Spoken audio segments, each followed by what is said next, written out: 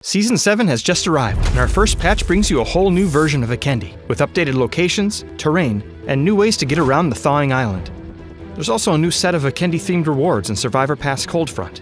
All this and more in Update 7.1. When Vikendi went on vacation last season to make room for the debut of Karakin, we promised to bring it back to you with a fresh new look. Our updated take on Vikendi brings a variety of changes, so let's quickly go over a few.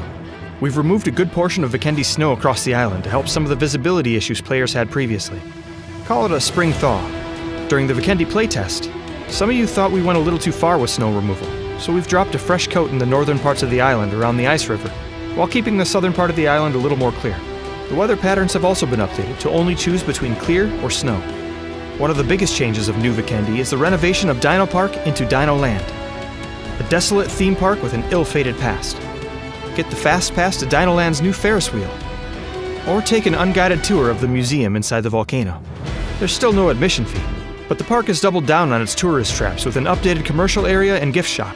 Make Dinoland your first stop on Vikendi. Alex and friends can't wait for you to drop dead, er, drop by.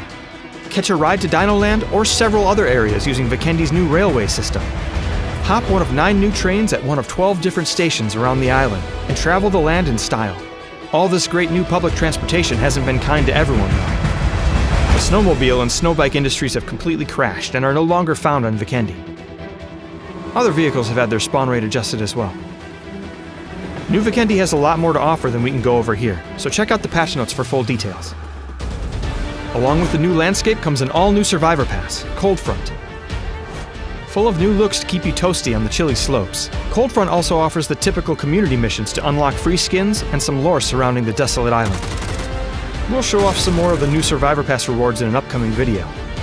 Or you can visit pass.pubg.com to see more. Update 7.1 also brings a new choice for bolt-action sniper lovers out there with the Mosin Nagant. The Mosin will be added to existing SR spawn rate for more long gun diversity in matches. You can learn more about the Mosin's stats and attachments in the patch notes. One last thing. With there being five maps now, we've made some necessary changes to map selection.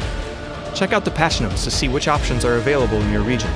Season 7 is here, so hop a train and see everything new for yourself. There are plenty of other survivors just waiting to punch your ticket. See you on the battlegrounds.